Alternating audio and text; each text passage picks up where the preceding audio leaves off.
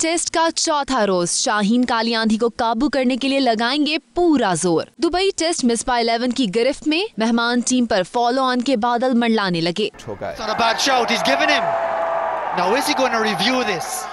West Indies खेल के चौथे रोज 315 रन छह खिलाड़ी आउट से अपनी इनिंग्स आगे बढ़ाएगा होल्डर 11 को फॉलो ऑन से बचने के लिए अभी भी चौसठ रन दरकार हैं, जबकि इसकी चार विकेटें बाकी हैं। यासिर शाह भी तेईस तरीन विकेटों का रिकॉर्ड बनाने के लिए पुरज्म हैं।